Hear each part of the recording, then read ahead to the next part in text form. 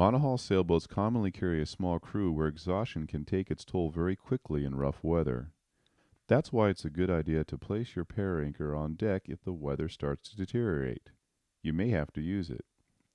When a sailor becomes too tired or the weather is unmanageable, it's time to deploy the para-anchor.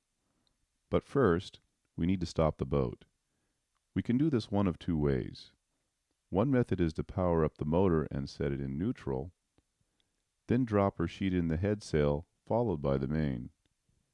With the engine powered slowly forward, we can keep the bow headed into the sea with the boat virtually stopped.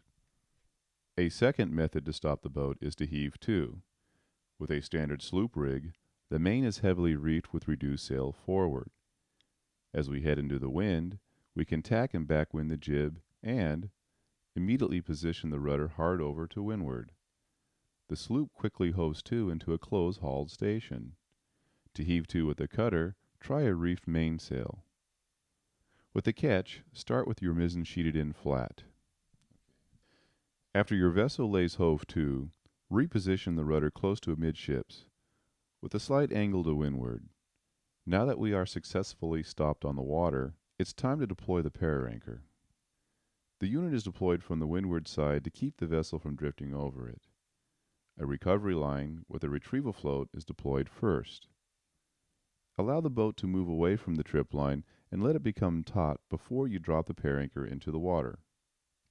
As soon as the para-anchor is dropped into the water, snub the anchor line to inflate the canopy.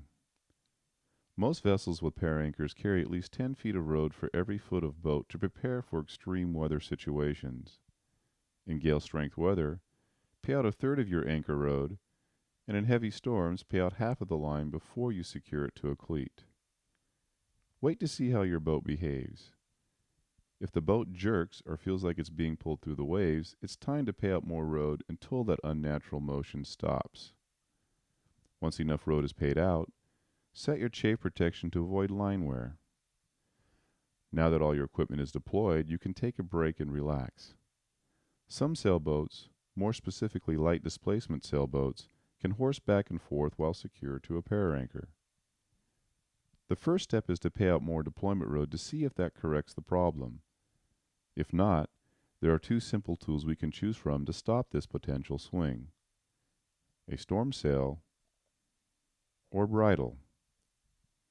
These tools greatly reduce the chance that your boat will bounce around uncomfortably.